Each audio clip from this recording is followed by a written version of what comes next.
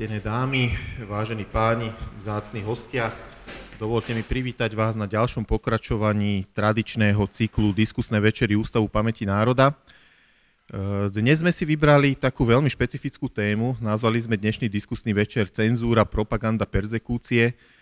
Prípad novinára Pavla Lička a jeho rozhovoru s Alexandrom Solženicinom a dnešný diskusný večer sme usporiadali, pretože je presne 55 rokov, odkedy vo vtedy kultovom časopise Zväzu slovenských spisovateľov v kultúrnom živote vyšiel rozhovor Pavla Lička práve so známym ruským spisovateľom Alexandrom Solženicinom a treba povedať, že vo svojej dobe to bola zda jeden z najcitovanejších rozhovorov slovenského novinára. Ešte predtým, ako privítam našich dnešných hostí a predstavím vám ich, tak si dovolím dva také organizačné pokyny. Prvý súvisí s GDPR, ja ho, si ho preto dovolím celý prečítať, oznám. Vážení hostia, diváci, Ústav pamäti národa dbá na dodržiavanie nariadenia a zákona o ochrane osobných údajov, známe pod skratkou GDPR, preto by sme vás radi informovali, že dnešné podujatie bude zaznamenávané audiovizuálnymi prostriedkami. Všetky údaje o spracovávaní osobných údajov nájdete pred vstupom do sály a s prípadnými otázkami sa môžete obrátiť na uvedenú zodpovednú osobu. Ďakujeme vám za porozumenie.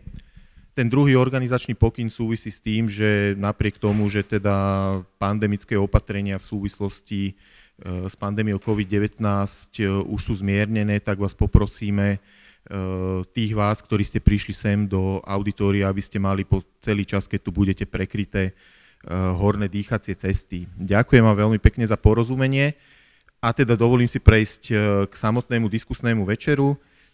Najskôr si dovolím predstaviť našich hostí, ktorí prijali naše pozvanie a ja som veľmi rád, že myslím si, že sa nám podarilo vytvoriť taký dobre zložený tým a ako prvú by som teda rád medzi nami privítal pani profesorku Máriu Kusu z katedry rusistiky a východoeurópskych štúdí Filozofickej fakulty Univerzity Komenského v Bratislave. Vítajte. Ďakujem pekne. Dobrý večer, prajem. Len doplním, že pani profesorka je literárna vedkynia a prekladateľka a v rámci dnešnej diskusie budem moderovať diskusiu s ňou, ktorá bude smerovaná k životu a pôsobeniu spisovateľa Alexandra Solženicina. A našim druhým hostom som tiež veľmi rád, že prijal pozvanie a dokonca si dovolím povedať, že bol taký spiritus movens výberu témy aj prípravy scenára dnešného diskusného večera historik, archivár, pracovník oddelenia dokumentácie Ústavu pamäti národa Jozef Hála. Vítaj medzi nami. No a teraz posledný môj taký trošku dlhší vstup predstavím, ako bude prebiehať dnešný diskusný večer. Možno oproti takým tradičným podujatiam tohto typu, taká jedna novinka je, že jeho súčasťou bude aj premietanie propagandistického filmu Kto je Lord Bethel, ale tento film bude z dôvodu autorských práv zaradený až na koniec diskusie. To znamená, že v prvej časti najskôr poprosím kolegu Jozefa Hálu o prezentáciu, v rámci ktorej priblíži príbeh rozhovoru Pavla Líčka s Alexandrom Solženicinom. V druhej časti diskusie bude moderovaná diskusia s pani profesorkou na tému perzekúcie autorov v Sovietskom zväze a životných osudov Alexandra Solženicina v 60. rokoch. Následne, následne v ďalšej časti kolega Hála nám priblíži osudy a perzekúcie Pavla Lička v 70. rokoch a v štvrtej časti moderovanej diskusie obom hosťom položím otázky týkajúce sa Alexandra Solženicina a jeho ďalších osudov v období vlády komunistického režimu v Sovietskom zväze. Nasledovať bude teda projekcia dokumentárneho filmu, a iba pripomeniem, že náš dnešný diskusný večer je teda vysielaný online, ale ten film budete môcť vidieť iba vy tu, vážení diváci, ktorí ste prišli do Polského inštitútu, pretože ako som spomenul, z dôvodu autorských práv nebude možné tento film vysielať, vysielať aj streamom. Keď sa skončí film, tak bude priestor na vaše otázky a potom vás poprosím prísť sem dopredu kvôli tomu, že teda tento dnešný diskusný večer nahrávame, tak vás poprosím na ten mikrofón, ktorý je tu vpredu, predstaviť sa a položiť našim hostom otázku. A zároveň s tým aj vás, vážení diváci, ktorí nás sledujete online prostredníctvom prenosu, či už na YouTube alebo na Facebooku, tak poprosím, že v čase, kedy bude tento stream zapnutý, tak môžete položiť na týchto platformách otázky, ktoré by vás zaujímali a na ktoré hostia potom v záverečnej diskusii odpo- odpovedajú. Dobre, tak dosť bolo asi slov z mojej strany. Pepo, poprosím teda teba ako prvého hostia, uh, približ nám trošku uh, príbeh rozhovoru novinára Pavla Lička uh, s Alexandrom Solženicinom, historické súvislosti a nech sa páči, odozdávam ti slovo a máš teda k dispozícii aj PowerPointovú prezentáciu, tak odovzdávam ti priestor. Dobrý podvečer vám tady v Polském institutu, tak i vám, kteří nás sledujete na nejrůznějších sociálních platformách. Eh, já jsem si připravil prezentaci, eh, ve které jsem se pokusil poměrně stručně zhrnout tu velmi komplikovanou materii.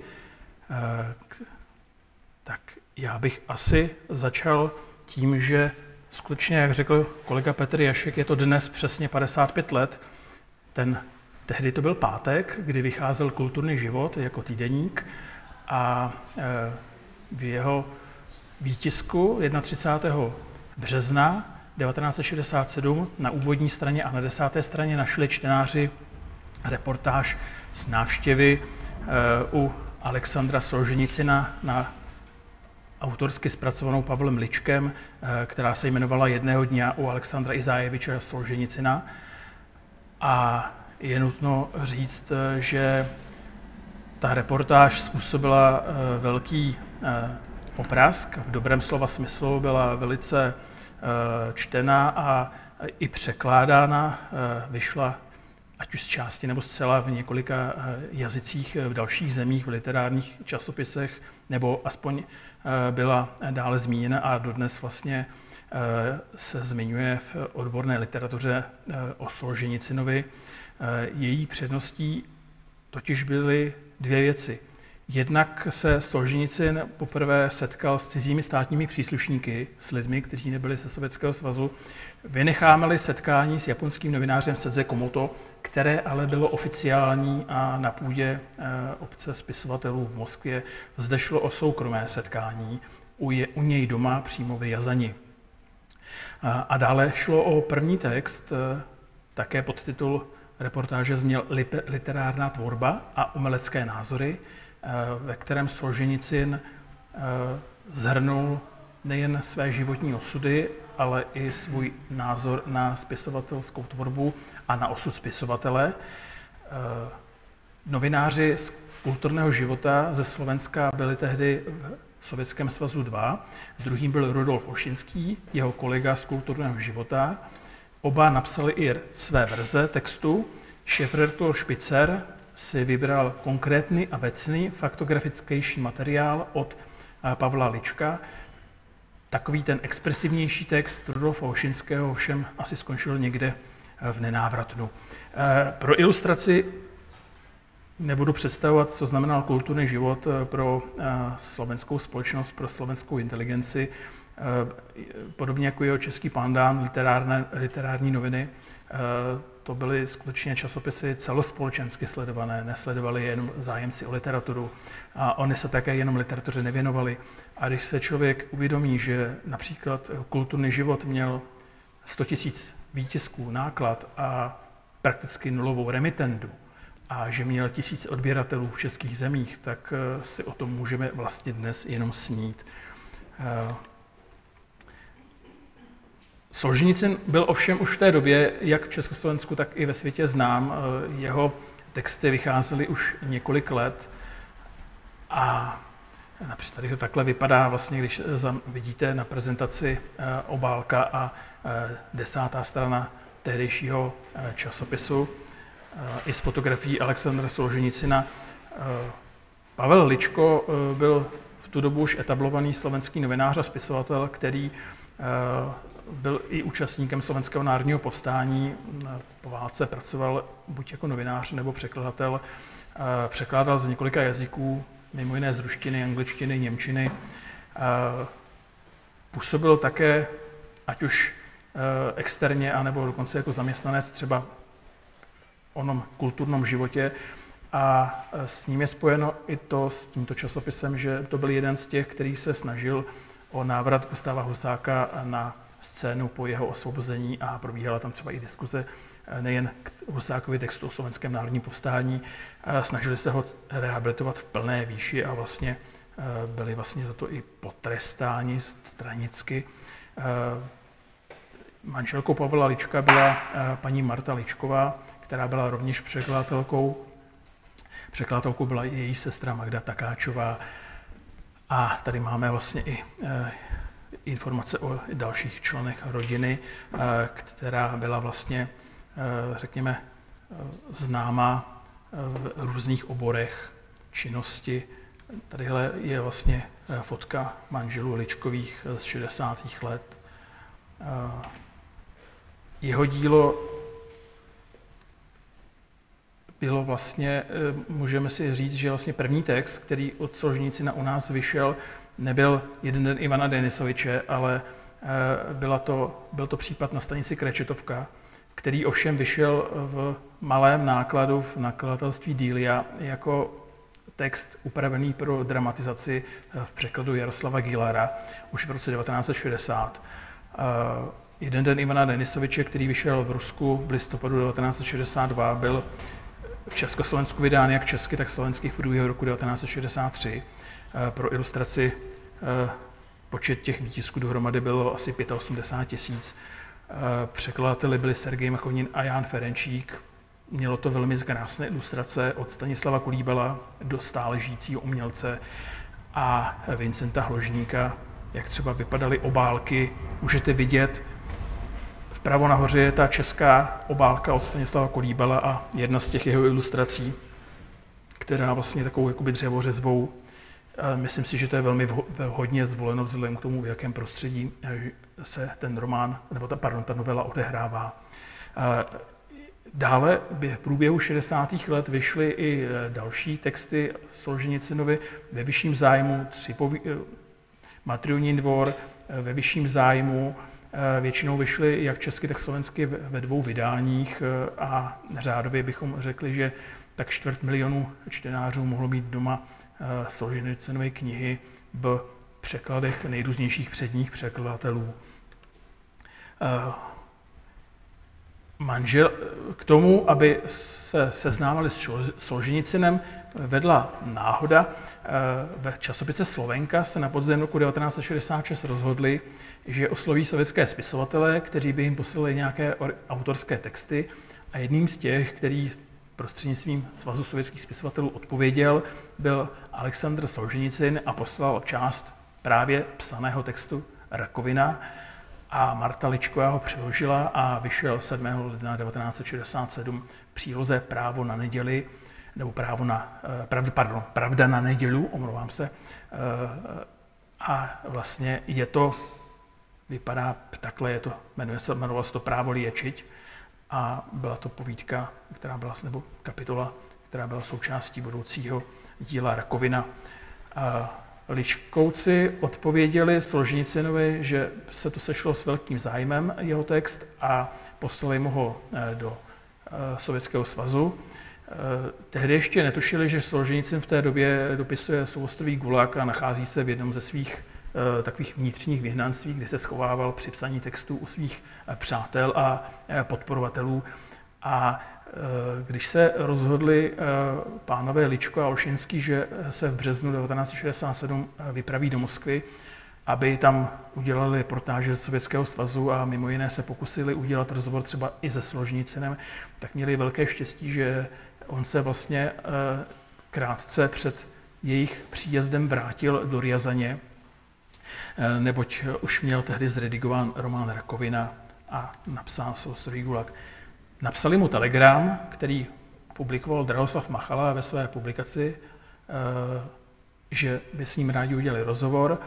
A protože oba byli znalí sovětského prostředí, kde nebylo úplně běžné eh, se stýkat s cizinci a pohybovat se mimo velká města, tak díky tomu a i díky svým přátelům z řad spisovatelů a z řad i partizánů eh, měli instrukce, že cestu 200 km jižní od Moskvy mají podniknout tak, aby nedojeli do cílové stanice, kde by je mohla čekat kontrola a vystoupili nečekaně o stanici dříve, kde měli narazit podle vlastních vzpomínek na taxikáře, který měl na ruce tetování s osnatým drátem a který na jejich potichu vyslovenou adresu Solženicinovu zareagoval pokývnutím a střel bytě odvezl do nejbližšího města Riazaně a přesně k domu, kde žil tehdy Solženicin. Podílel se na tom někteří sovětští e, spisovatelé a umělci, jako třeba Boris Možájev, jehož texty právě Marta Ličková také překládala.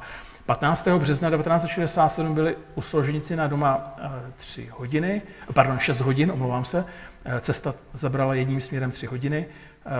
O den později se s ním ještě sešli v moskevské kavárně Lira a Solženicin tam převezl tři texty a recept na fazlovou nátěrku, fazlovou nátěrku. Eh, ten vyšel v speciálním ličkovském čísle kritiky a kontextu, takže můžete si to i vyzkoušet, co Solženicin doma kuchtil. Eh, ohlas reportáže, jak jsem řekl na začátku, byl veliký, ale nicméně, eh, že odmek a predierie měl své limity.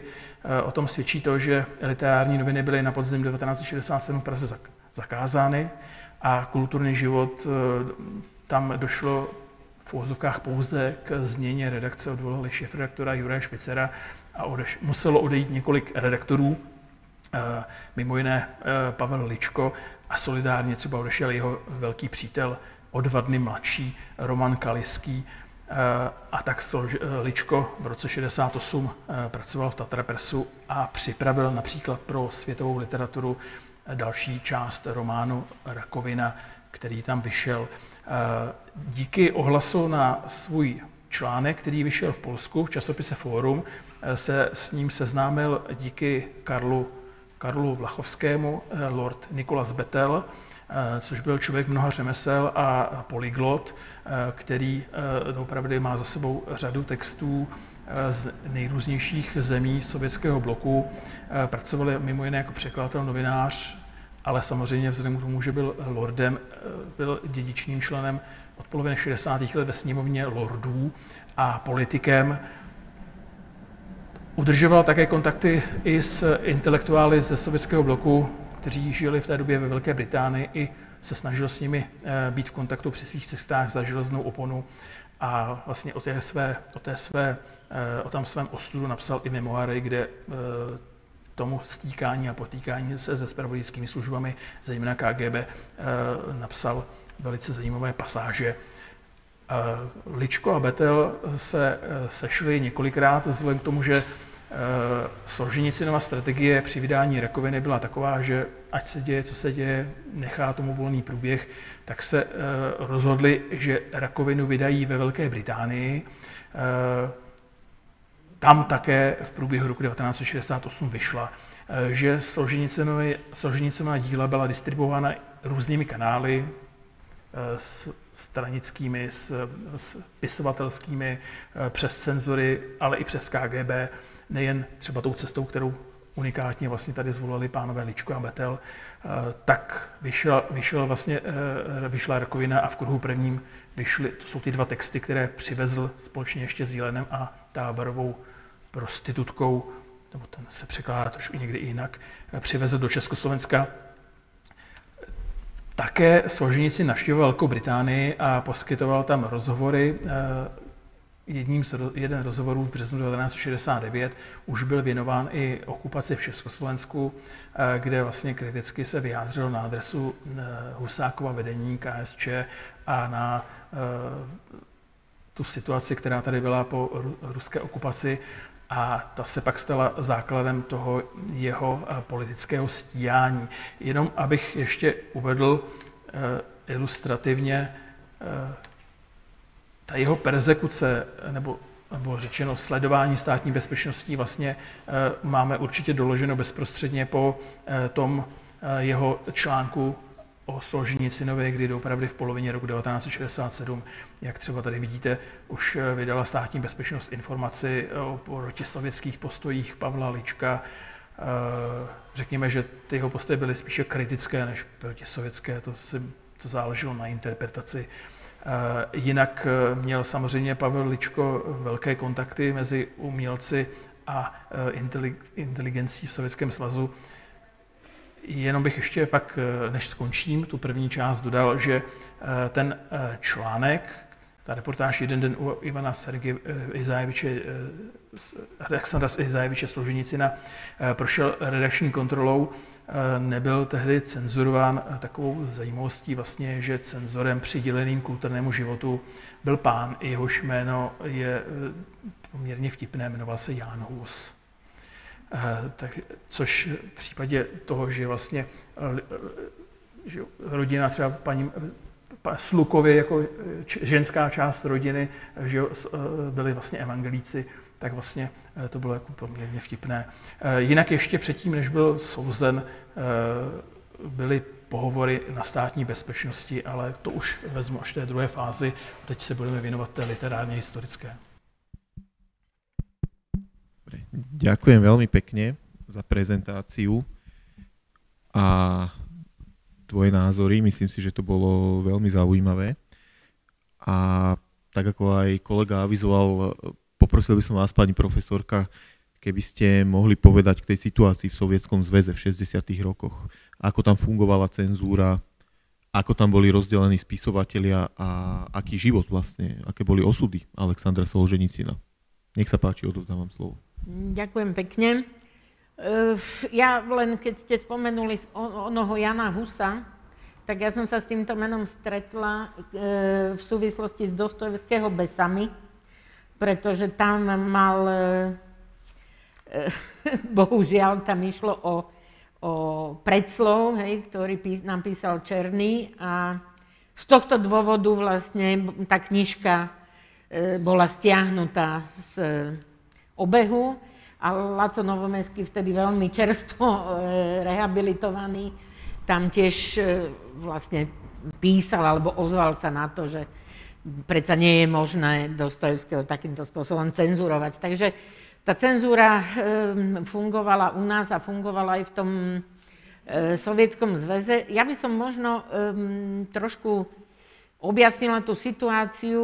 Pán kolega už hovoril, veľmi často sa v Rusku hovorilo, že, že prišiel síce odmek, ale jar nenastala. To je takéto slovné spojenie, ktoré sa veľmi často uh, spomína v súvislosti s tým Sovietským zväzom a s tým, čo sa udialo, teda s tým spoločensko-politickým a teda aj kultúrnym uvoľnením. A naozaj e, treba povedať, že e, tá situácia najmä v tej druhej polovičke 50. rokov a na začiatku 60. rokov e, vyzerala alebo zdala sa byť veľmi sľubná. Hej, vtedy sa veľmi výrazne presadzuje, aj videla som spomínaný Eh, teda skupina básnikov, tzv. štvrté pokolenie básnikov, už aj spomínaný Voznesenský, k ním patril samozrejme Jentušenko a, a Bela Achmadulina a niektorí ďalší.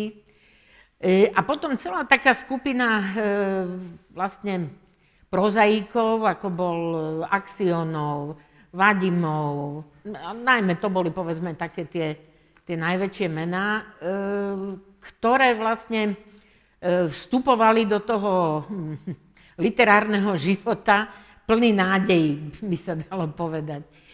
Lenže bohužiaľ tá situácia sa veľmi rýchlo začala meniť. E, povedala by som, že najmä potom, ako Chruščov začal strácať e, tú svoju silu. Okrem toho sám Chruščov, určite všetci poznáte, tí, keď, keď, keď vás zaujímajú tieto témy, tak iste všetci poznáte vlastne Chruščovovo E, zareagovanie paradoxne na, na výtvarné diela na výstave vlastne súdobého, vtedy súčasného umenia Ernsta Neizvestného, ktorý paradoxne vlastne bol potom autorom jeho, alebo teda je autorom jeho náhrobného kameňa, pretože e, po vlastne jeho smrti si práve rodina želala, aby Ernst Neizvestný urobil vlastne túto, e, tento pomník.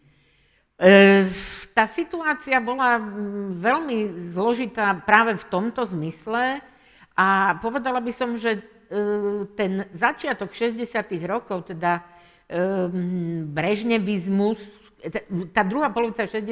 rokov, teda to, čo prichádzalo s brežnevizmom, to znamenalo samozrejme, povedala by som, ešte horšiu situáciu, ako bola predtým, lebo tá, tie persekúcie a tie, to vnímanie vlastne umelcov malo taký, ja by som povedala, že taký perfidnejší charakter, lebo z hodou okolností sa to, nedávno som to videla, sa ten, táto téma alebo tento motív myhol aj v nejakej mm, úplne inej súvislosti, v nejakom filme. E, tie 60. a hlavne 70. roky boli poznamenané už nie ani tak posielaním do pracovných táborov, ale zbavovaním svojprávnosti a vlastne zatváraním do psychiatrických liečební, teda tých tzv. psychúšek. Čo bola, ako ja hovorím, je to proste Najviac sa mi na to páči to pekné české slovo, že zhuviežile, proste bolo to absolútne obludné. E, a teda boli tam dve možnosti. Buď bolo tzv.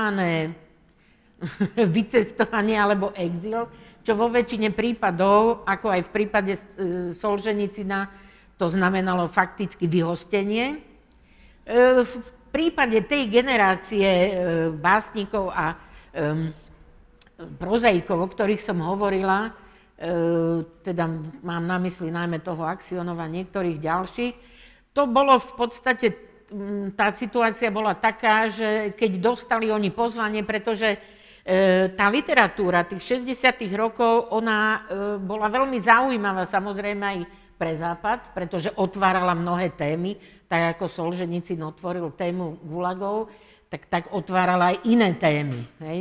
iné témy a oproti tomu, teda tej tematizácii toho, povedala by som, verejného, hej, e, zrazu to bola tematizácia intimného, tematizácia proste e, individuí, hej, osobností. E, tak vlastne tá, tá situácia viedla k tomu, že ľudia boli, povedzme, pozvaní na západ, do Ameriky, alebo do Nemecka, alebo do Francúzska a v podstate nedostali zjednodušene povedané spätné vízum. Čiže oni vedeli, že keď odídu, tak už sa nemôžu vrátiť. Taký, takýmto spôsobom vlastne bolo prinútených odísť pomerne veľké množstvo e, spisovateľov, ale nielen spisovateľov, treba povedať, že to neboli len spisovateľi, to boli aj výtvarníci, to boli aj, aj režiséri, viete dobre, že podstate aj Tarkovský takýmto spôsobom e, skončil, že vlastne e, vzhľadom na svoje už ten, v tom čase európske renome mohol síce natáčať v zahraničí, ale e, ten e, pohon, ktorý sa na neho udial medzi tým doma, ten bol taký, že v zásade už potom teda ostáva, ostáva v zahraničí. Takže toto bolo také veľmi, by som povedala, zložité. Ale osud Solženicina bol predsa len trošku iný ako osud týchto ľudí. Takže ja by som možno zmienila len to, však zrejme asi e, všetci viete, že v zásade Solženicina stihol Gulag za, za e, korešpondenciu, hej, ktorá sa samozrejme preverovala e, ešte počas vojny a bol odsudený teda na 8 rokov. A treba povedať, že e, tých 8 rokov naozaj evidentne e, Solženicin akoby vstrebával všetko to, čo, čo zažil. A e, tá jeho, ja aj keď o tom vlastne rozprávam študentom, tak vždy hovorím, že každú časť tej svojej väzenskej cesty on vlastne pardon, stvárnil aj knižne. Hej. E, Prvá, prvé, prvé takéto, um, by som povedala, tak, taká tá ľahšia časť aj z hľadiska um, možno zdravia a z hľadiska pozície bola, že ako fyzika e, Solženicin skončil matematiku a fyziku vzhľadom na to, že um, on sa nechcel, uh, jednak ako za toho dnešným jazykom by sme povedali, že, že šikanovali ešte aj na škole, lebo nosil krížik, a teda ten pravoslavný kríž nosil na sebe, takže študenti si ho, a samozrejme vtedy v tom čase pionieri, e, jeho kolegovia, si, si ho veľmi často podávali a teda naozaj bol v tomto smere šikanovaný a e, rozhodol sa teda pre matematiku a fyziku.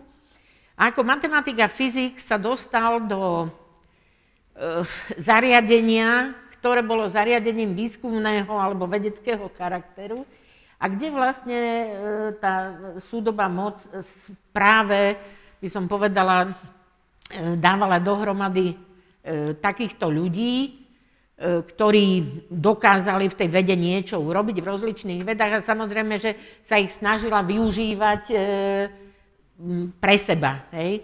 No ale Solženicin to odmietol a myslím si, že veľmi celkom zaujímavo o tom to stvárnil v texte, o ktorom sa až tak veľmi nehovorí.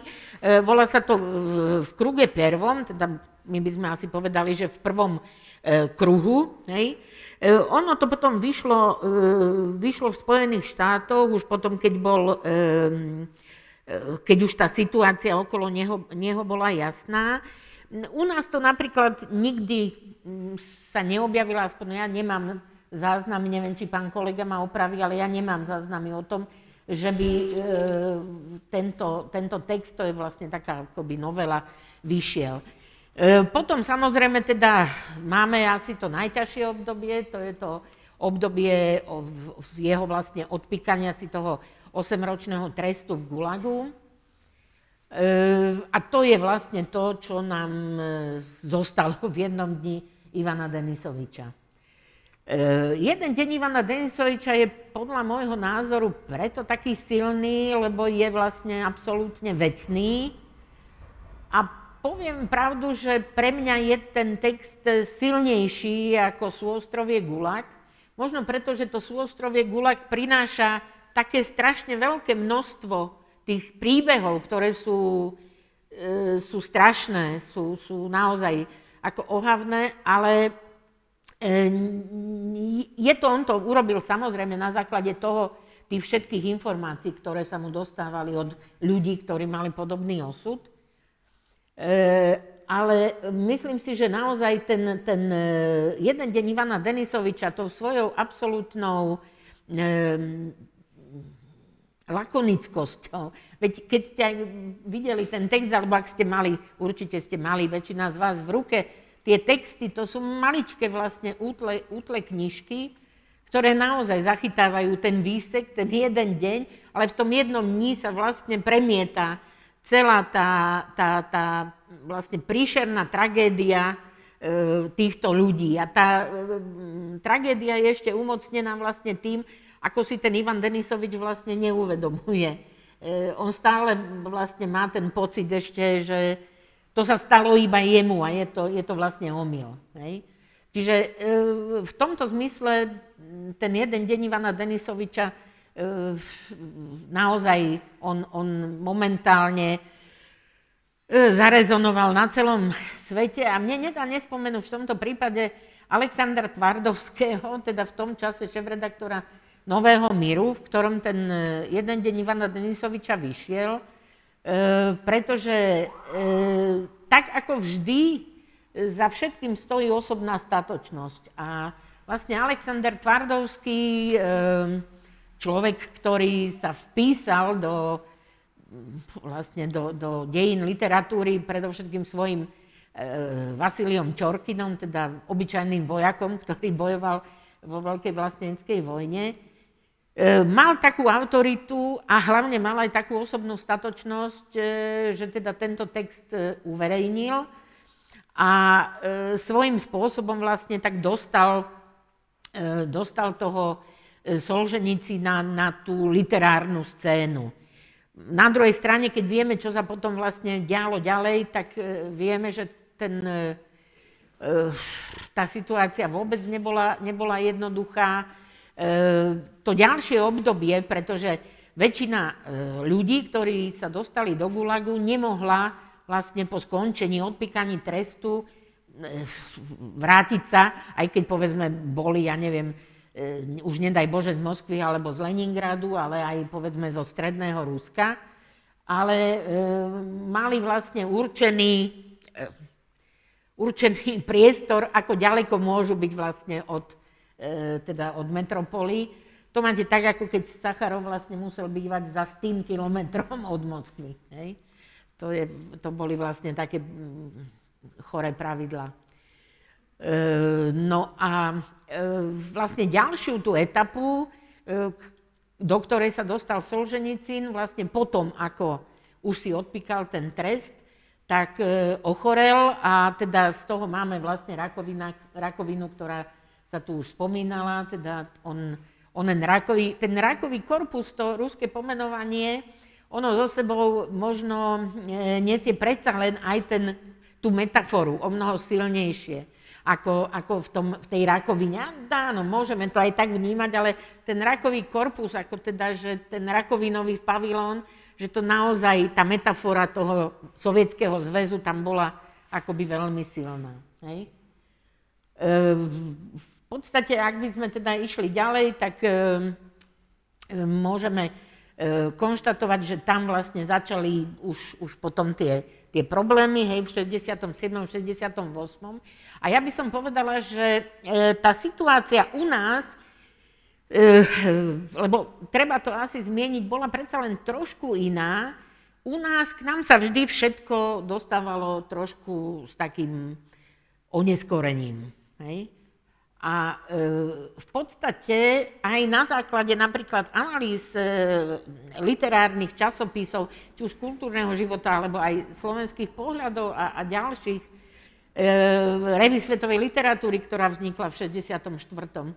Eh, môžeme konštatovať, že taký najväčší boom toho, tej orientácie vlastne na tú inú ruskú literatúru začína niekde okolo toho roku 63-64. To aj veľmi pekne vidno aj práve na týchto eh, prekladoch Solženicinových, ale aj na prekladoch niektorých, niektorých ďalších autorov. Ehm, treba povedať, že my sme naozaj na rozdiel od Ruska mali v tých 60. rokoch e, majstra Margaretu v preklade už spomínané dnes e, Magdy Takáčovej. Hej, e, aj keď to nebolo celkom úplné vydanie, vyšli vtedy, vyšiel samozrejme preklad doktora Živáka Zory Jesenskej a množstvo ďalších textov, čiže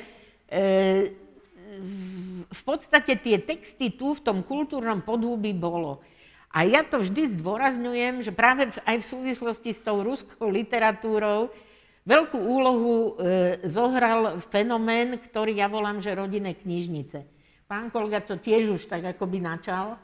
E, totiž v tých rodinných knižniciach, väčšina týchto textov, alebo v tých dobrých rodinných knižniciach, tieto texty boli a oni vlastne už dokázali vlastne putovať po, e, po tom, kto, kto, sa, kto si chcel prečítať, alebo dalo sa k ním takýmto spôsobom dostať. Samozrejme, že v univerzitke alebo v iných knižniciach, pokiaľ ste nemali osobitné povolenie, tak, a ktoré sa dalo veľmi ťažko vybaviť, tak ste sa k ním nedostali. Hej. Takže e, tá situácia sa veľmi, veľmi teda výrazne e, začala meniť. A predsa len ešte v, na tom Slovensku ten 67., 68.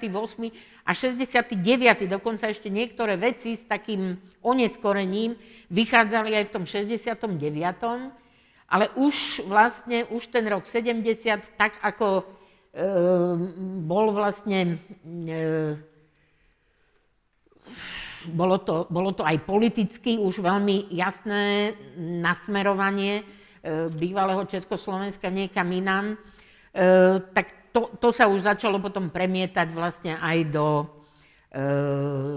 tej časopiseckej a knižnej produkcie. Môžeme sa tomu potom podrobnejšie venovať v tej druhej časti. A teda ten rok 1968 bol naozaj veľmi významný mílnik v dejinách minimálne teda komunistického Československa. Invázia vojsk Varšavskej zmluvy z 21. augusta 1968 znamenala ukončenie demokratizačného procesu, pomalý nástup režimu tzv. normalizácie a to zo sebou prinieslo aj perzekúcie voči naozaj stovkám a tisícom ľudí, ktorí sa angažovali v 60. rokoch. a takýto osud persekúcií postihol aj novinára Pavla Lička. Odovzdám ti slovo, Pepo, a skús nám priblížiť túto časť jeho životných osudov. Já, já ještě s dovolením bych si krátce dovolil, uh, já jsem si teďka měl čas chvilku ještě do svých poznámek podívat, uh, když se, ještě uvědomit si jednu věc, uh, když vlastně to zužíme na Solženicina, tam je velice zajímavé, že vlastně po té, co se Ličko vrátil v březnu 67, eh, tak vlastně přiložil asi desetistránkový úryvek z rakoviny pro světovou literaturu a žádný jiný text v roce 1967, 8 a 9 a pak samozřejmě až do roku 1990 žádný jiný překlad Solženicina u nás nevyšel. Vyšel eh, česky i v exilu, ale ne v Československu až pak vyšly po roce 1989 jak staré texty, tak texty mezi tím eh, vyhotovené. Eh, konkrétně u té rakoviny, tam vlastně je zajímavé, že má více překladů dokonce slovenských.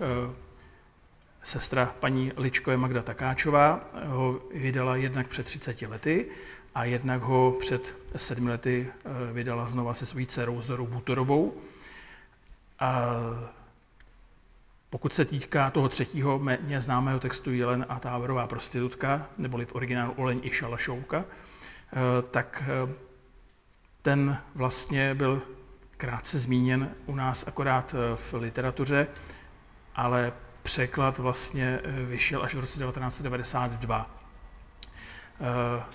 Když to tak vezmeme, oni vlastně se chystali, chystali prostě vydat, vydat jeho texty, nicméně už to nestihli v rámci edičních plánů a cenzury eh, v době Pražského jara a následné eh, jako počínající normalizace, eh, takže vlastně jak rakovina, tak ve vyšším, v kruhu prvním vyšlo až 91, 92 a v kruhu prvním dokonce už jenom česky.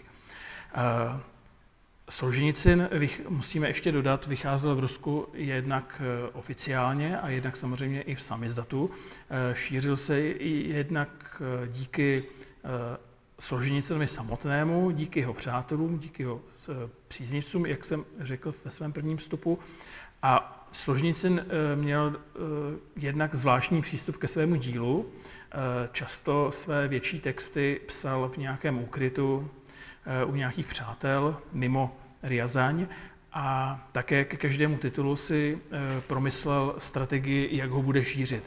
On ho jednak nechával k nějakému cenzurnímu a redakčnímu posouzení a jednak se rozhodl, že využije těch vedlejších cest, které to eh, mohlo znamenat a eh, třeba u rakoviny se rozhodl, že ji nechá šířit spontánně, ať se děje to bez jeho nějakého usměrňování, ale román v kruhu prvním si chtěl v zahraničí vydat sám. A to byl jeden z předmětů následných sporů mezi Složenicinem a těmi, kteří ta díla pomáhali zprostředkovat eh, západním čtenářům a vydávali je eh, v anglosaských zemích. Eh, on se vlastně, to ale pak řekneme v dalším vstupu k ním, nejen bezprostředně po tom vydání na přelomu 60. a 70. let, ještě v době, kdy byl v Sovětském svazu, tak i ve svých pamětech a ve svých textech v 90. letech velmi negativně vyjadřoval. Ale já se budu věnovat tomu, k čemu mám. Eh, Pavel Ličko eh, byl v roce 1969 už eh, vzhledem k zájmu státní bezpečnosti vystaven takovému zvláštnímu druhu výstrahy. Byly s ním prováděny informativní pohovory, kde ho příslušníci státní bezpečnosti vyslýchali, co se děje během jeho cest do zahraničí a kladli mu na srdce, aby se nedopouštěl nějaké takzvaně protisocialistické činnosti, eh, neboť měli podezření a věděli o tom, že on eh, zřejmě v zahraničí nejen vystupuje, jako například v BBC, eh, ale i publikuje a tyto rozhovory s ním ukončili, protože zjistili, že on prostě se rozhodl ty jejich varování ignorovat a neudělal na ně v uvozovkách dobrý dojem.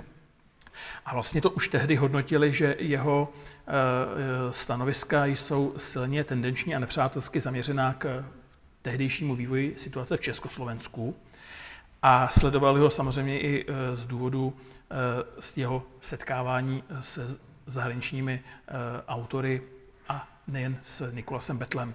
1. září 1970 tak byl takzvaně realizován, neboli zatčen a e, strávil e, řadu měsíců ve vazbě. E, během těch několika měsíců, které následovaly, byl sám asi 30krát vyslýchán a dále bylo vyslechnuto asi dalších 30 lidí, kteří s ním nějakým způsobem přišli do kontaktu.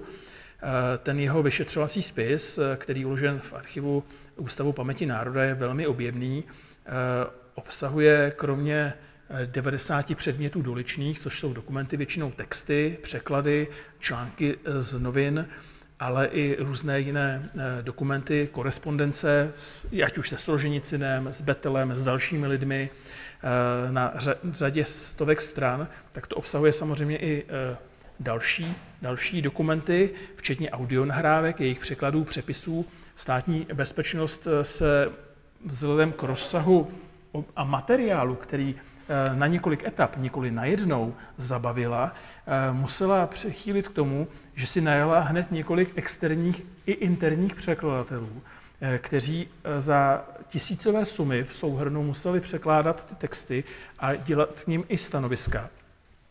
A musela si vlastně, nech, najmula si, protože Pavel Ličko si své texty a, a své, své diskuze s Betelem zaznamenával na magnetofonní pásek a posílal do zahraničí pásky. Většinou využil cesty do Vídně, kam mohl ještě v 90, 69. jezdit, poslal z Vídně magnetofonovou pásku, jim se povedlo několik těch pásek během eh, bytové eh, kontroly, během domovní prohlídky zabezpečit. Eh, pokusili se mu prokázat, že jsou to jeho pásky s jeho hlasem, nicméně experti z externí instituce, kteří to měli posoudit a dostali od státní bezpečnosti eh, další nahrávku jeho hlasu, která ovšem byla provedena na profesionální přístroji, nikoli na domácím magnetofonu, tak měla jiné zvukové kvality, tak ty experti se zachovali poměrně solidně.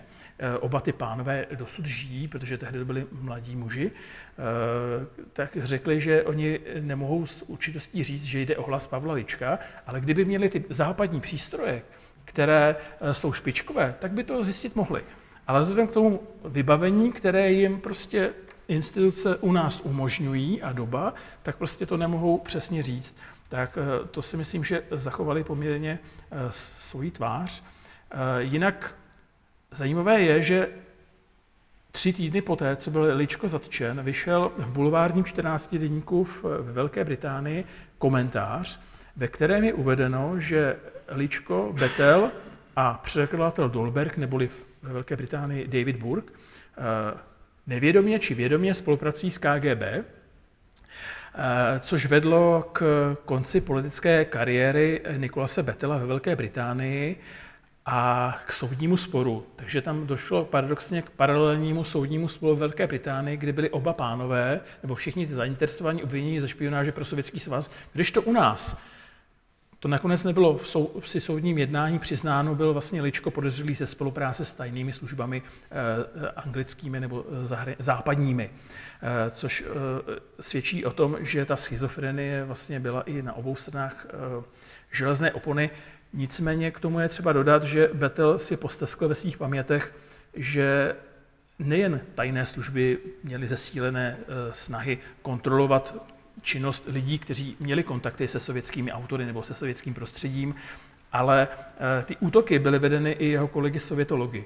A eh, tam je nutný vlastně říct, že my můžeme vlastně některé ty eh, texty některých autorů vlastně považovat vlastně svým způsobem buď za čin aktivních idiotů s prominutím, a nebo za čin lidí, kteří vlastně sami vědomě vlastně byli tou takzvanou pátou kolonou Sovětského svazu na západě. Eh, vzhledem k sovětské strategii eh, dezinformace, která vlastně už byla od druhé světové války, eh, bychom se tomu nedivili. Forma těch příspěvků a jejich obsah vlastně se zhodují vlastně jedině s dokumenty ruské tajné služby. Ličkův soud proběhl v červnu 1971 v Bratislavě. Tam bych jenom upozornil, že prokurátorem byl, prokurátorem byl ještě tehdy už veterán Pavel Winter, což byl nechvalně známý absolvent politické školy pracujících z přelomu 40. a 50. let a prokurátor v řadě politických procesů z 50. let. Eh, byl soudcem Milanem Kurcem uložen trest 18 měsíců nepodmíněně a je tam v rozsudku doslovně uvedeno, že je to trest udělený z hlediska generální prevence. Čili vlastně Ličko působil jako odstrašující případ pro eh, novináře a píšící autory a že ten trest se zdá soudu jako dostačující i jako eh, ten trest byl pak potvrzen u krajského soudu při, při, při dalším jednání a vlastně jeden z mála lidí, o které můžeme říct, že se celou dobu e, Ličkovi snažil pomáhat, byl Roman Kaliský, jeho skutečně celoživotní přítel a e, známý novinář a po roce 1990 i ředitel televize, který jako nemnoho slovenských zakázaných autorů, novinářů a spisovatelů tehdy působil v dělnické profesi. Že skutečně neměl žádnou jinou, byť nějakou jako řekněme, eh, méně eh, kvalifikovanou, ale práci v oboru. Tady jsou vlastně na krásné fotografie z rodinného archivu, eh, které jsem dostal díky rodině Ličkových. Z čeho byl Pavel Ličko obviněn? Jednak byl obviněn z poškozování zájmu republiky v cizině, zhanobení republiky a jejího představitele a zhanobení státu světové socialistické soustavy a jejího představitele.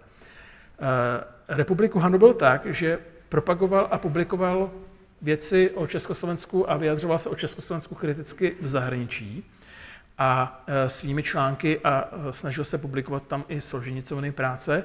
A to hanobení státu světové socialistické soustavy, e, toho se dopustil tak, ono to zní dnes směšně, že přátelům, čili dvěma a více lidem, pustil Krylovo druhé první exilové album Rakovina, které získal a měl nahrané na magnetofonovém pásku.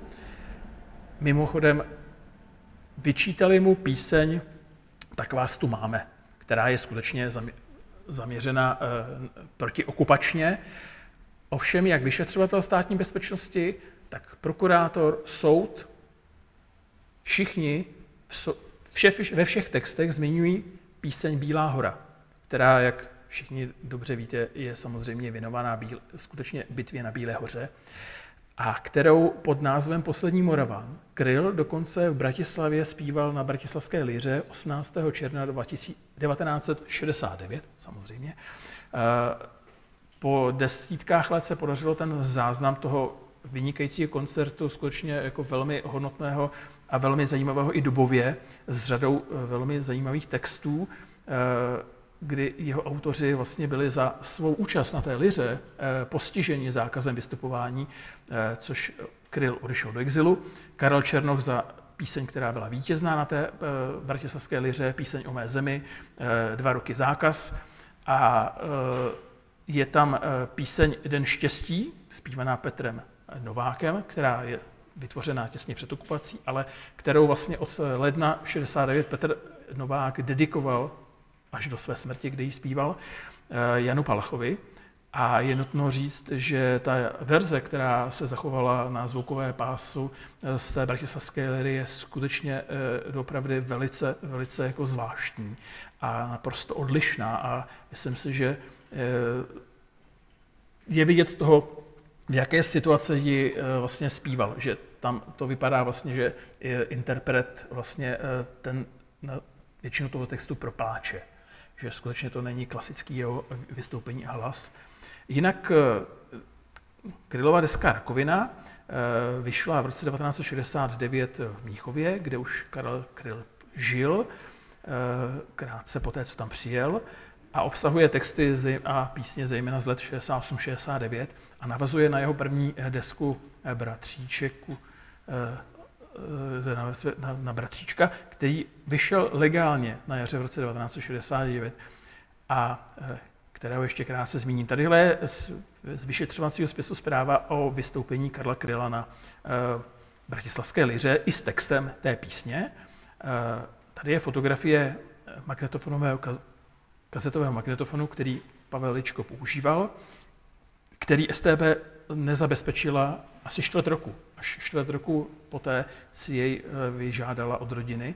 A je tam ve vyšetřovacím, v, soud, v soudním spisu je přímo i audiokazeta s inkriminovanou nahrávkou Krylovy desky, která tam dosud je společně s dalšími pásy. Takhle vypadala vězenská fotografie eh, Pavla Lička z vyšetřovacího spisu eh, a vzhledem k tomu, že strávil ve vězení více než rok, odseděl si celých 17 měsíců z 18 a takhle vypadá karta, když jste se ocitli ve vězení, je tam uvedeno, kdy a za co jste byli odsouzeni.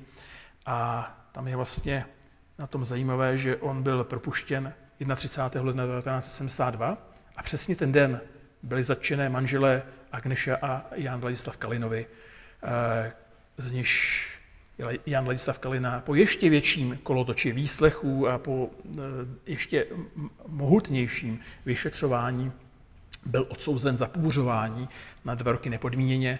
Kromě toho, že mu eh, že odsoudili za snahu vydat svou knihu v cizině, kterou pouze za snahu, známou svou knihu Tisíc a jeden vtip, odsoudili ho za to, že přeložil několik článků z Pravdy od Františka Josefa Kolára, eh, což byl vlastně český eh, komunista, ekonom, eh, souzený v 50. letech s Smrkovským, jinak účastník bitvy u Dunkirk, který, co by, řekněme, většinový, větši, s většinovými židovskými kořeny, byl v roce 1970 autorem textů, které Eh, za odměnu vyšly i v Sovětském svazu a jmenovali se Sionismus a antisemitismus.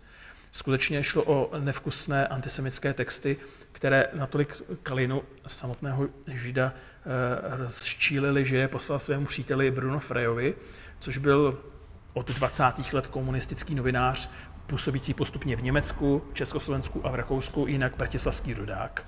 Pod jménem Freistadt se tu narodil v roce 1897. Jan Ladislav Kalina byl ironicky propuštěn na 25. Eh, výročí února v den svých, den svých 60. narozenin. A než se eh, podíváme eh, na další osudy, tak nevím, jestli nepředám slovo. Možno by si mohl v stručnosti ty osudy vzpomenout a potom v posledním stupe poprosíme paní profesorku a pustíme Lidé, ten film. kteří byli ve vazbě, která byla většinou, jako stejně dnes, horší než vězení, Eh, jak nejistotou, tak i podmínkami, eh, tak samozřejmě se dělili na dvě skupiny, a to na skupinu, která tam třeba patří Miroslav Kusí nebo Jiří Našíková, kteří to vzali jako sociologický experiment a kteří třeba byli natolik eh, charakterově a povahově ukotveni, že to vlastně jako víceméně v pohodě, když to řeknu v uvozovkách, v pohodě zvládli. Tak samozřejmě druhá řada lidí pro ně to uvěznění a odtržení od rodiny eh, nebylo úplně právě příjemné a taky je třeba říct, že podobně třeba jako Jan, jako Kali, Jan Ladislav Kalina, tak i Pavel Ličko eh, si vlastně odnesl z toho více než ročního vězení eh, zdravotní následky. Týden poté, co ho propustili, se mu odměnil režim o ním denunciačním dokumentem, který bude vidět na konci Eh, který vytvořila zdejší redakce z pravodejství ve spolupráci se státní bezpečností, eh, kde se v něm otevřeně hovoří jako o britském agentovi, eh, který spolupracuje za peníze. Bylo to skutečně, je to klasická ukázka dezinformační kampaně, nevkusné propagandy. Já jen doufám, že vzhledem k tomu, že se ten den na druhém programu Československé televize vysílalo Eh, zápas z olympijských her v Saporu a Československo, které v té době mělo velmi dobrý tým, sice prohrálo se Spojenými státy, tak to snad moc lidí nevidělo ani při té repríze o několik dnů později. Eh, jinak manželé samozřejmě vůbec, manželé Ličkovi se vůbec nemohli věnovat svému oboru, pokud mohli náhodou něco přeložit, tak na cizí jméno. Eh, Pavel Ličko se vlastně stal penzistou, který žil většinou na své chalupě, zahrádce. Paní Ličková na, Slovensku existovalo několik podniků, které se víceméně specializovaly na zaměstnávání nepohodlných lidí. Jedním z nich byl datasystém. To byl, byl IT firma nebo IT organizace, kde mimo jiné pracovala paní Agneša Kalinová a připsala si zde do své bibliografie unikátní kousek, kdy přiložila nějaký počítačový manuál. kterému, jak mi i osobně říkal, ve 100% vůbec nerozuměla, nicméně má, eh, ten manuál je dostupný dokonce i v knihovně. A je to text, který do dneška skutečně to nějaký počítačový jazyk té doby eh, s nějakým komentářem. A jak bylo vlastně řečeno, Pavel Ličko byl samozřejmě dál sledován a posloucháván a vyslýchán státní bezpečností. Eh, mimochodem, tady je třeba fotografie opět ze 70. let, eh, když už ty, ti lidé třeba po několika letech by měli nějakou chuť eh, se věnovat nějaké veřejné činnosti, ano, to třeba platilo i pro již více zmiňovaného Jana Ladislava Kalinu, tak přišlo do Bocharty, která sice vlastně v první vlně prakticky neměla žádného slovenského signatáře. Vlastně jediný, kdo v průběhu ledna 1977 se tady v Bratislavě přidal, byl vlastně víceméně Miroslav Kusí. A nicméně několik desítek lidí, ať už to byli lidé perzekovaní, bývalí komunisté, nebo to byli lidé, kteří nebyli nikdy členy komunistické strany, z rad spisovatelů, vědců, umělců, bylo vyslýcháno, jestli se seznámilo s chartou, jestli ví o někom, kdo ji tady distribuuje, jestli zná ten text, jestli ho podepsalo. Eh, takže samozřejmě bylo jim vyhrožováno, že aby se nedopouštili té činnosti eh, existoval, existoval speciální slovenský vyšetřovací spis na chartu, kde vlastně byly rozpracovávány ty jednotlivé osoby a bylo jim řečeno, že pokud budou se angažovat nějak v této činnosti, že to pro ně bude mít eh, jiné následky, řekněme i stíhání. Eh, v té době existovala i jako na mnohé lidi svazek na Pavla Lička, který byl svazek prověřované osoby a signální, čili to znamenalo, že ten člověk byl prověřován pro nějakou svoji skutečnou nebo domělou protisocialistickou činnost. Nicméně ten eh, byl skartován v prosinci 89, ale z toho, že ho vedlo první oddělení druhého odboru, je vidět, že to bylo skutečně zaměřeno na eh, dissent a na opozici. A samozřejmě byl také Pavel Ličko, jako mnozí další, evidován jako nepřátelská osoba. Eh, já tady možná nechám trošku i tu literaturu. My vlastně máme literaturu, takový sborník ke kulturnému životu z poloviny 90. let. Eh, tehdy vlastně i vyšla diplomka Matuše Kostolného o Pavlu Ličkovi. Eh, své vzpomínkové texty uvedla řada novinářů z eh, kulturného života, Roman Kaliský, Drahoslav Machala, Juraj Špicer. Máme vzpomínky Agneši Kalenové, máme vzpomínky těch západních autorů Olgy Kerlyle nebo Maxe Reinharta. A dá se říct, že to je vlastně eh, vše, co bych asi řekl. Eh, jenom bohužel musím dodat, že Pavel Ličko se nedožil eh, společen, změny společenských poměrů, zemřel rok před listopadem 1989 a až v roce 1990 byl rehabilitován a paní Marta Ličková se ještě řadu let mohla věnovat překládání a své krásné rodině. Děkuji velmi pěkně. Paní profesorka, vás poprosím priblížiť e, tak v stručnosti osudy aj Alexandra Solženicina v 70. 80. rokoch dopádu komunistického režimu. To je, by som povedala, taká veľmi e, zaujímavá bola tá ďalšia cesta.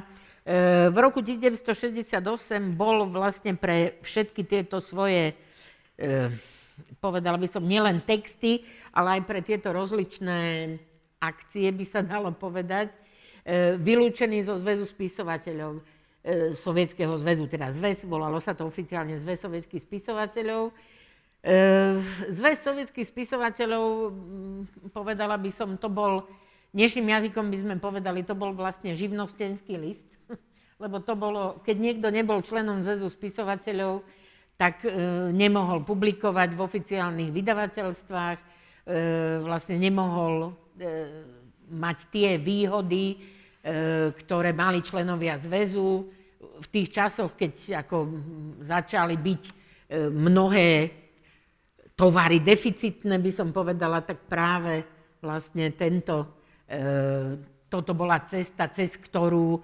povedzme členovia zväzu dostávali na prídel hej, nejaké práve tieto deficitné, deficitné tovary. Čiže e, ono to znamenalo neuveriteľnú komplikáciu e, životnú, ale medzi tým teda tie texty už samozrejme začali kolovať po Európe a, a po svete. A v roku 1970 sa odohralo to, čo teda mu zásadne potom zmenilo na niekoľko desaťročí život.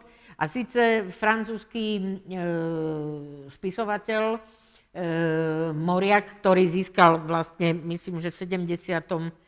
E, v 52. E, Nobelovú cenu, tak François Moriak podal vlastne návrh na akadémiu, Švedskú kráľovskú akadémiu, aby teda získal, alebo aby bola udelená Solženicinovi Nobelová cena za literatúru.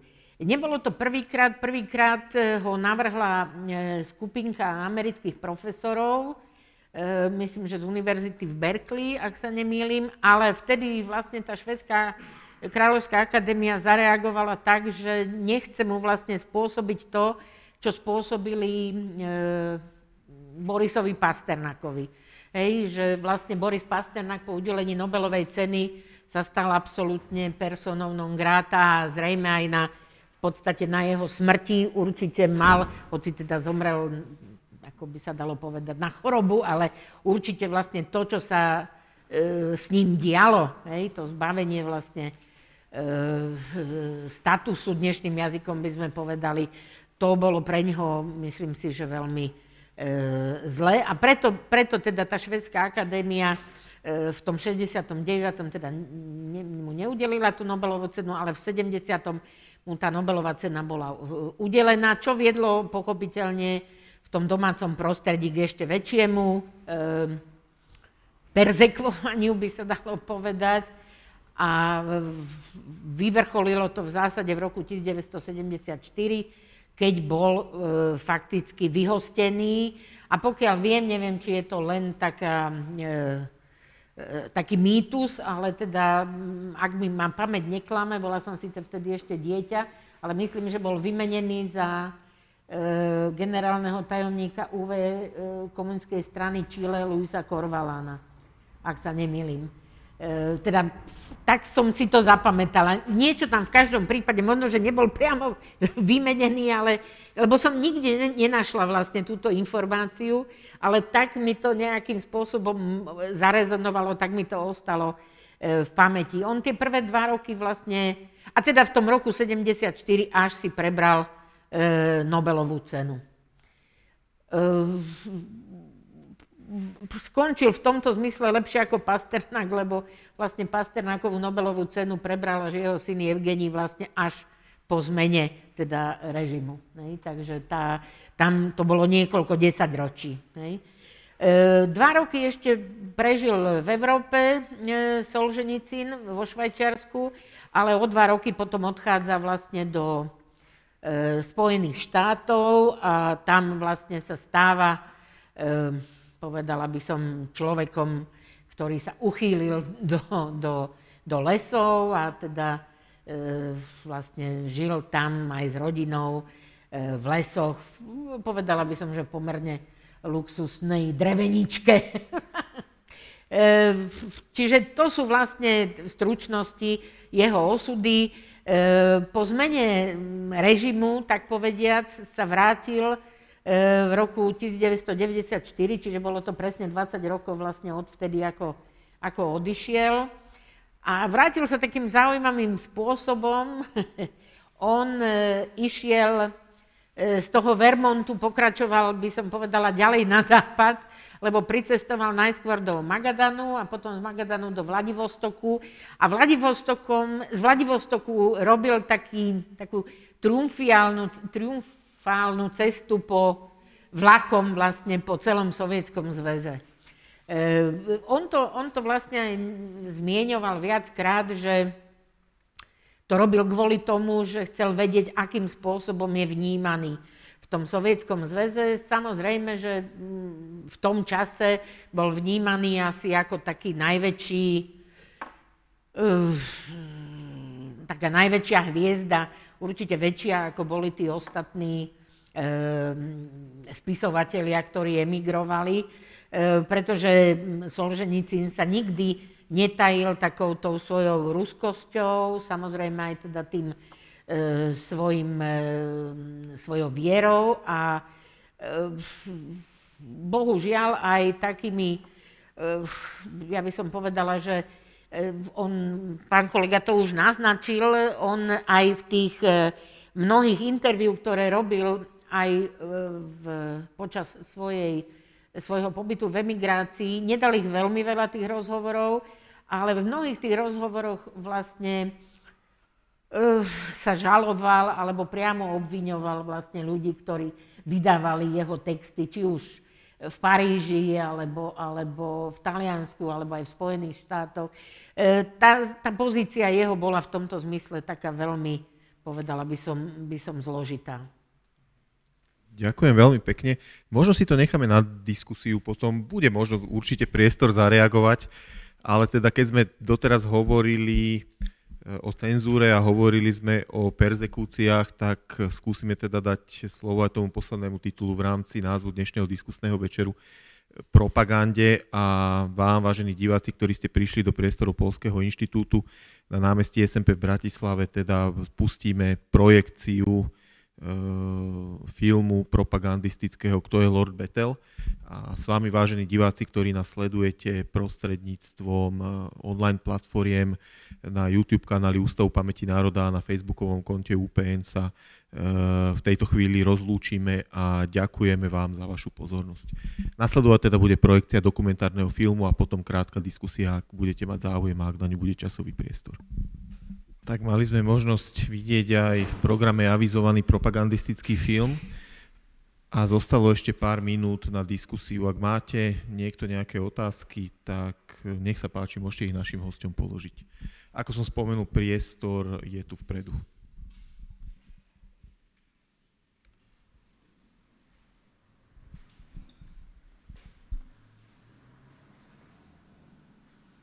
Ja mám len takú stručnú otázku. Uh, Spomínali sa tie diela Solženice, na ktoré potom neskôr po 69. vyšli v exile. Ja mám vedomosť, že v švajčiarskom exile, v slovenskom švajčiarskom exile vyšiel preklad, myslím, že to bolo súostrovie Gulag, z vydavateľského družstva Polana.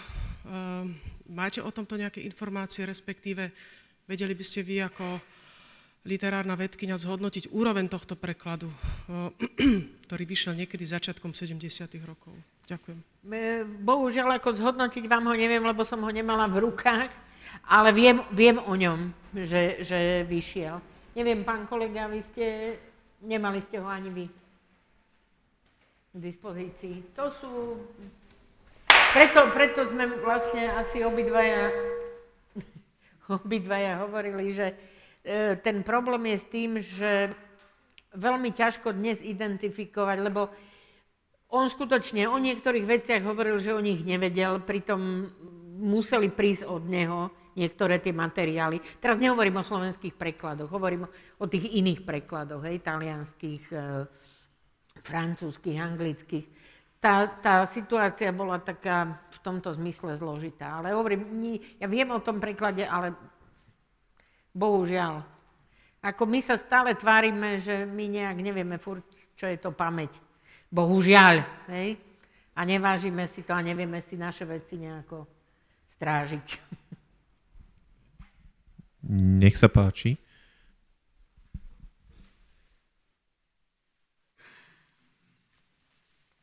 Dobrý deň.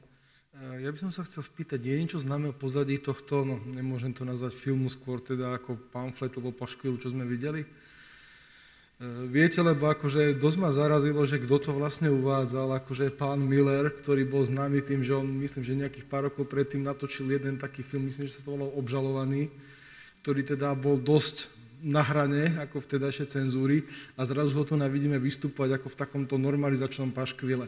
Či to urobil z alebo dobrovoľne, alebo čo vlastne za tým bolo. Ďakujem.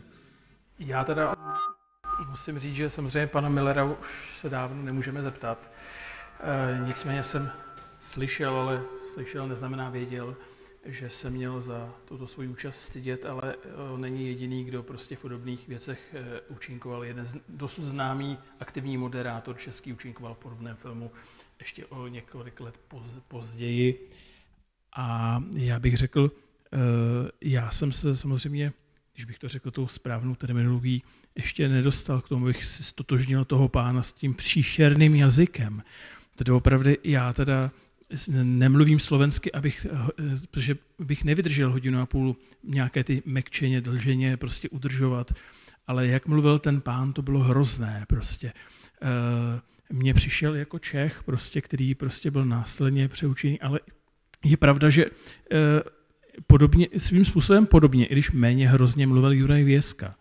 Uh, tak samozřejmě si jako třeba neměl třeba nějaké maďarské předky. Ale nechci tady z toho nic vyvozovat, jenom uh, bohužel netuším, uh, kdo přesně to byl. Nicméně námět a scénář Ivan Fábry, který figuruje i v, jako expert na ty Krylovy texty, takže to je, já bych řekl, že to, ten pán byl asi nějaký kulturní přidělenec, ať už oficiální nebo řekněme pod krytím státní bezpečnosti, který se pohyboval prostě eh, po světě a oficiálně tam prostě výjmeně to. Já jsem si mezi tím využil Google a v knihovně Liberty Prohibity eh, jsem vám našel jednak exemplář, eh, že jsou tam, tuším dokonce dva exempláře slovenského překladu z a já jsem si to hned nevzpomněl, ale přeložil to MLB Štefan.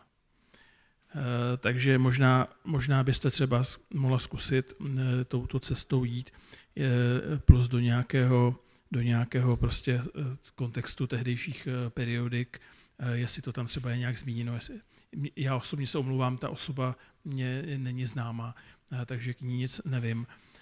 Ale jednak musím říct, že co se týče Solženici na, na západě, tak eh, kromě toho, že byl překládán, tak byl samozřejmě také eh, vydáván v ruském jazyce.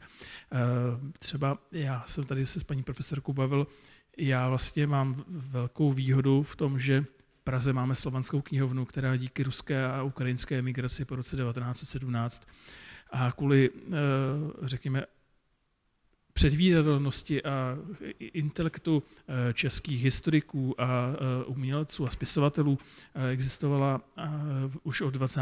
let, která má dosud ve svých sbírkách spoustu nádherných věcí, jinak třeba i nedostupných. Kromě toho, že má vlastně řadu těch vydání anglickojazyčných, francouzskojazyčných, ruských autorů, nejen Solženicina, tak má samozřejmě i eh, ruská periodika, nejen Nový mír, nejen Grany, eh, kde třeba eh, probíhala ta polemika, prostě kde vydávaly se i různá jiná díla, to bylo frankfurtské vydavatelství Posev, ale ještě bych jako k tomu, k tomu dodal, že Solženicina díla teda vycházela od roku 63 vydali Rusové sami bibliografii děl v ruštině. Vyšlou za ruběžem, abych tak řekl. A e, nutno říct, že oni sami si to, ta Riazaňská knihovna plus muzeum Alexandra Solženicina se tomu intenzivně věnuje jako svému rodákovi.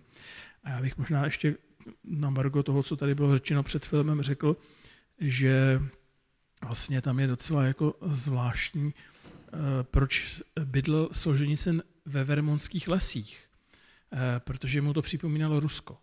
Eh, byla tam zima, březové lesy a člověk, který vlastně se proklamoval jako asketa, eh, vlastně žil na, jenom pro dokreslení na dáče, kterou si tam, nechal, kterou si tam koupil a nechal si ji zrekonstruovat a ty náklady byly na dobové peníze 250 a 150 tisíc dolarů. A to jsou právě ty peníze, které vyčítali jako ukradené svým podporovatelům na západě, kteří překládali a šířili jeho díla.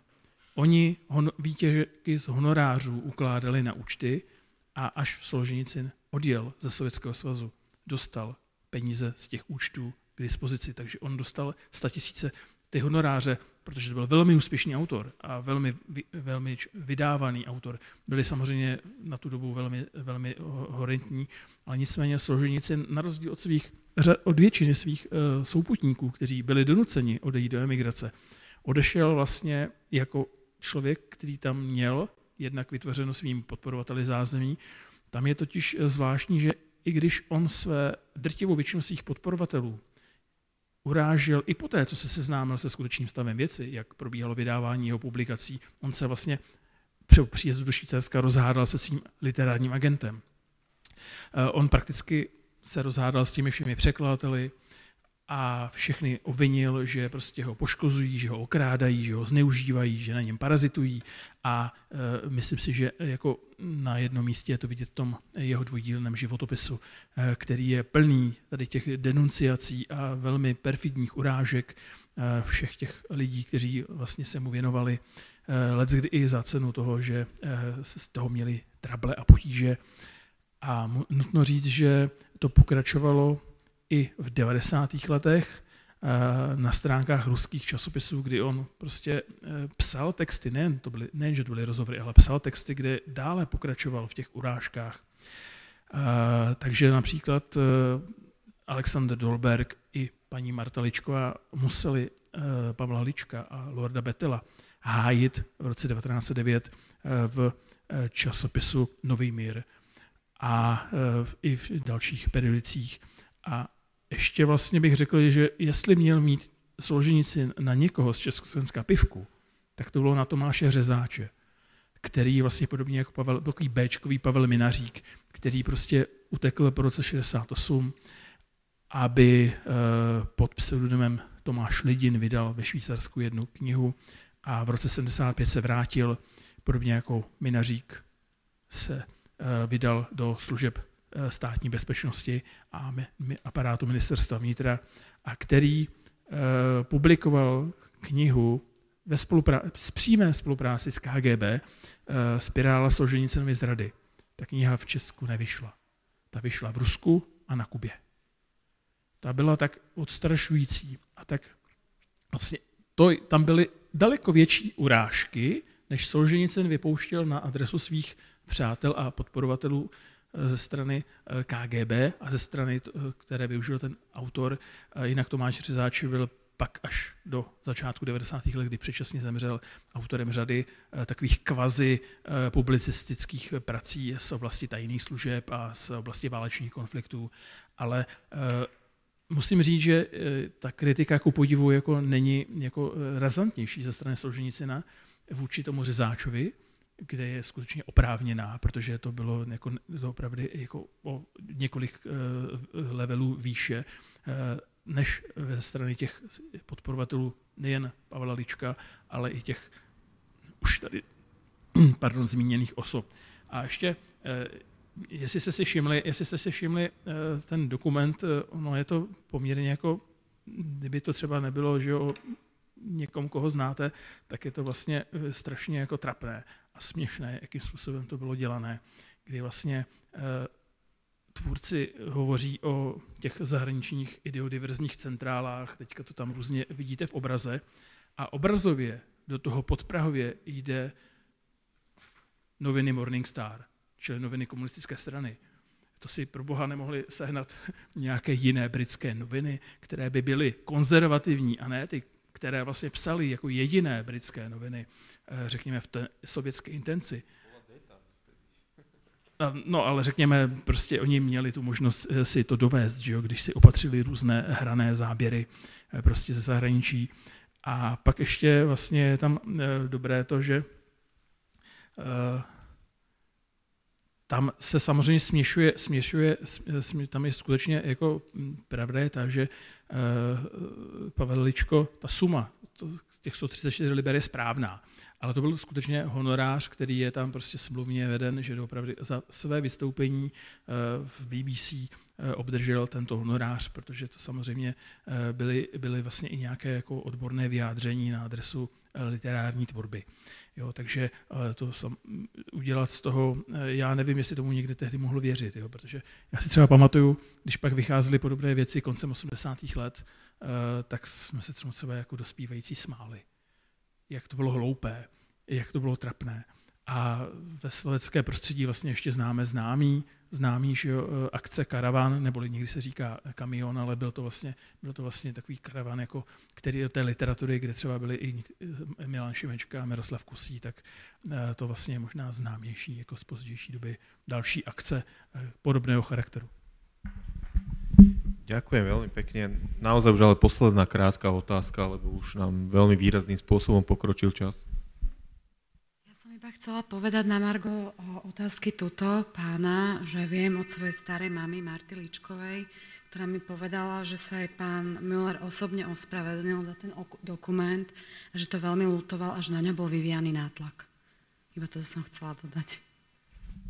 Tak ďakujeme. Posledná otázka bola zároveň odpoveďou. Ctené dámy, vážení páni, náš diskusný večer dospel do svojho záveru a na záver sa mi dovolte poďakovať eh, našim dvom, predovšetkým našim dvom dnešným hostom za to, že prijali naše pozvanie a podelili sa s nami o svoje vedomosti pani profesorke Kusej. Ďakujeme veľmi pekne.